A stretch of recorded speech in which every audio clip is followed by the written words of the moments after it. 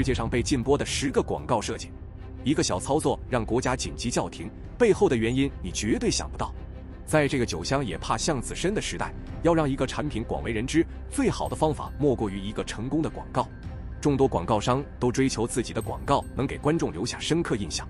本期好奇指南针和大家一起去见识一下世界上那些被禁播的广告到底有多夸张。点击订阅，让我们出发吧。第十名，HTC 手机广告。台湾引以为豪的本土手机品牌 HTC 有一款型号为 U 十一的手机，品牌方去年在英国推出广告后，本想着会大受欢迎，却不料被英国广告标准委员会要求在当地停止播放。这个广告请来英国奥运会跳水代表汤姆戴利担任主角，只见他手里拿着 U 十一手机，站上了十公尺高的跳水台，按下压测矿感应后，一边跳水一边自拍。汤姆从泳池起身后，手上还拿着手机，准备检查自拍成果。虽然广告标有警告语，注释上写明了汤姆是专业选手，希望普通民众不要模仿，也列出了 U 十一手机的防水级数，但英国广告标准委员会却表示，这款手机的防水功能最多只能浸泡在水下一公尺，而且仅限于淡水。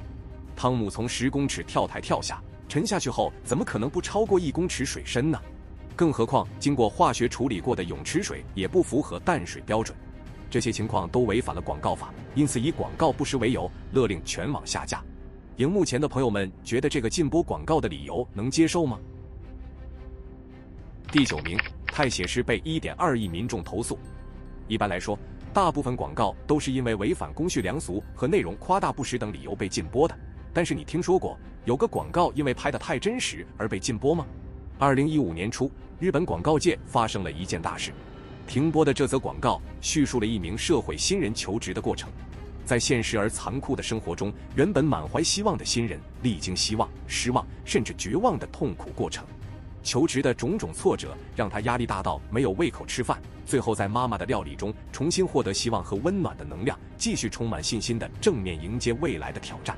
虽然广告确实很催泪，但是里面反映的关于残酷现实社会的部分太写实了。让人在感动之余，还唤起了求职时不愉快的回忆，导致很多人投诉，达到了适得其反的效果。还有部分观众看了广告后，表示自己心里不舒服。最后，公司为了顺服民意，不得不停播广告。而且更令人意想不到的是，如果不说，你肯定猜不到这是东京瓦斯的广告。作为日本最大的天然气供货商。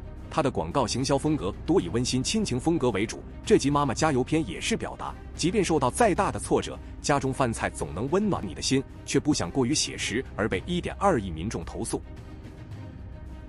第八名，欧泡果奶，在大陆播出的欧泡果奶广告，以魔性洗脑的广告词让人欲罢不能，而这样一个面对儿童的乐趣广告，为何会被禁播呢？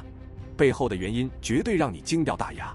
欧泡果奶是旺旺旗下一款果奶饮料，其广告分为三篇，分别是欧泡果奶亲亲篇、欧泡果奶带动篇、欧泡果奶过瘾篇。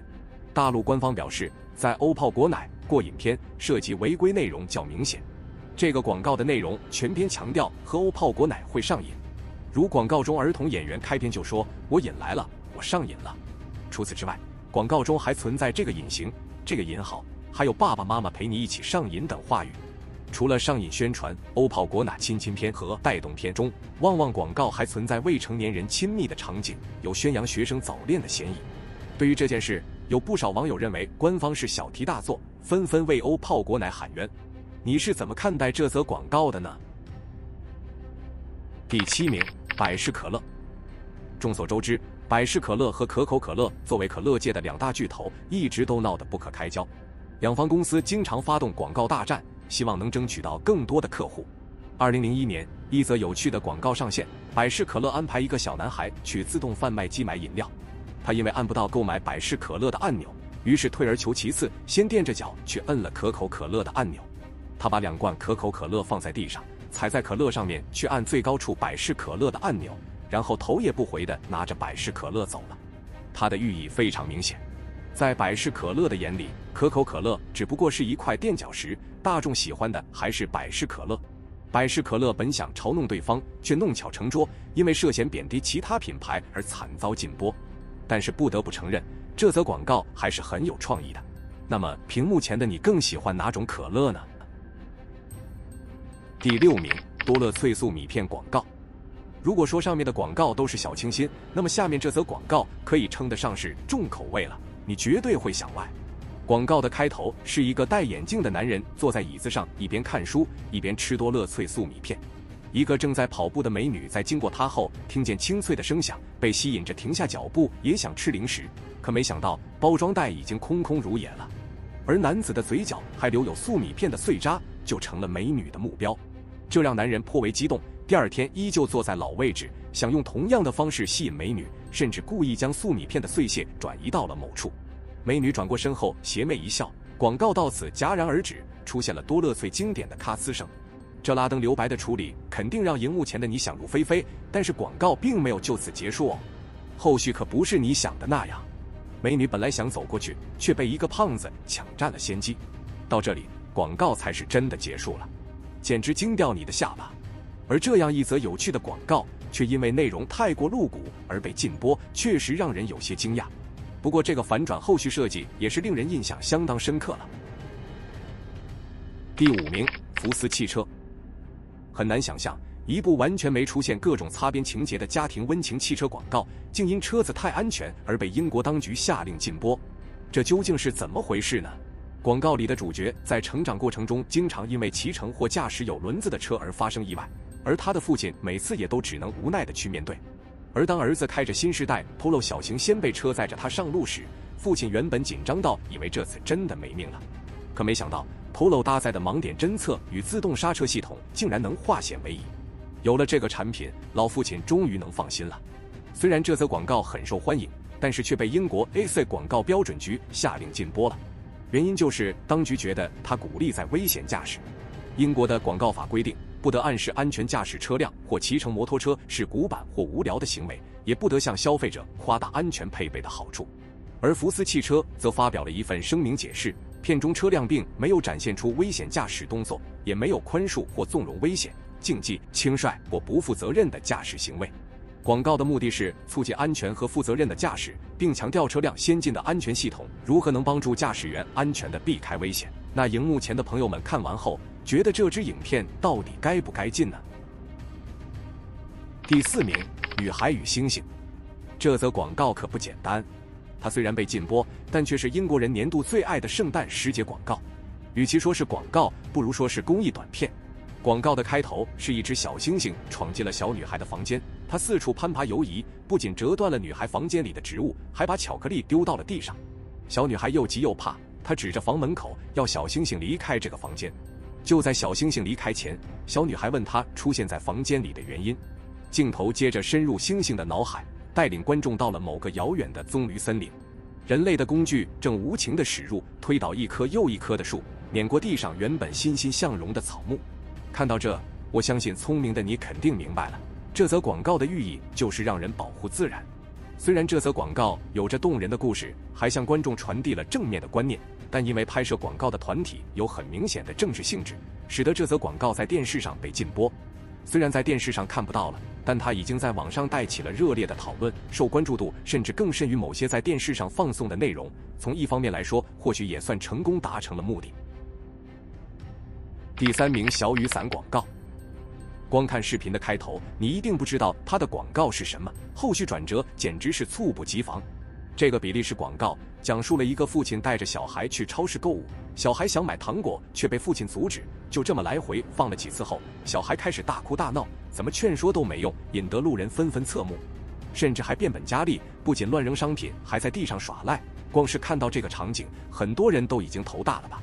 就在观众共情这位父亲的时候，视频的下方缓缓出现了一行字，这时候观众才恍然大悟，原来这是一则小雨伞广告。不得不说，这个广告还是做得很成功的。很多人表示自己看到这个视频后，对小孩子深恶痛绝，再也不想养小孩了。正是因为这则广告涉嫌灌输教育小朋友是一件麻烦事这个错误观念，以及鼓吹绝育等问题，而遭到了比利时官方的禁播。荧幕前的朋友们觉得这个广告创意如何呢？第二名，士力架广告，男人要很 man 才够赞。一则西班牙士力架广告被炮轰恐同，网友愤怒扬言抵制，究竟是怎样的内容呢？让我们一起来看看。这段二十秒的广告由西班牙的一位同性恋变装皮者西瓦哈来演出。广告中，留着长发的西瓦哈向男服务生点了一杯柳橙汁，结果男服务生递了一根士力架给西瓦哈。西瓦哈吃了一口后，瞬间变成留着胡子的短发男子，连声音都变得低沉起来了。这段广告发布后，因为涉嫌歧视 LGBT 群体，遭到了网友的严厉批评。很多人不仅向政府部门举报了广告的内容，还扬言抵制士力架的所有产品。看到群众们都不买账，士力架西班牙分公司马上表示会立即撤下该广告，并为该广告造成的任何误解道歉。大家觉得这个广告内容能否接受呢？第一名嫩得太夸张，很多人看到那些保养的很好的女明星时，都会羡慕她们那光滑紧致的好皮肤；看到那些宣称效果很好的抗老产品时，更是想直接全部入手。四十一岁的英国女星瑞秋·怀兹为欧莱雅代言抗老润肤霜，在写真里尽展青春气息。瑞秋本人就非常优雅，平面广告更是美的没话说。虽然广告的效果很吸引人。但还有眼尖读者发现，杂志里刊登的广告疑似修图修太大，和真人有一定的差距。广告中的瑞秋皮肤光滑，脸上一点细纹都没有，但是瑞秋本人在现实里却有鱼尾纹、法令纹，两相比较，真的有不小的差距。自由民主党国会议员斯文森对此提出了投诉，英国广告标准局也随即下令禁止刊登这个广告。其实，修图在欧美的平面广告很常见，平凡女模在化妆打扮。电脑修图修改五官比例，拉大眼睛，立刻麻雀变凤凰；而平凡的男模在经过修图加宽肩膀、加厚胸肌，立刻变成性感猛男。无所不能的修图改变影像的世界，但过度仰赖神奇的电脑，也难免引发不实广告的争议。看完以上内容，你觉得哪则被禁播的广告最有意思呢？欢迎来评论区留言讨论。如果你喜欢本期视频，欢迎订阅、按赞、好奇指南针，下期依旧给你带来更多精彩。